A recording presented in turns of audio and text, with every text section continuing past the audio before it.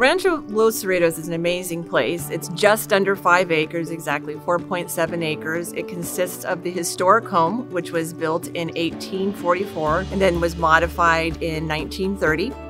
It has beautiful gardens, including a garden built by Ralph Cornell in the backyard, and also a California native garden and arroyo. It is staffed by a few staff members, but also 150 volunteers. And if it weren't for the volunteers, much of the work that we do here, we could not be doing.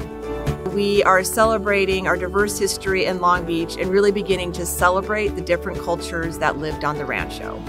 We do public tours of both the historic house and the garden. We do host a variety of events, everything from weddings to wedding receptions to corporate retreats people really started telling us like, the gardens mean so much. As we feel peaceful we can take a chance to step back kind of for even if it's just 30 minutes forget what's going on outside of these gates. It's safe it's serene and we just hope that people come enjoy it.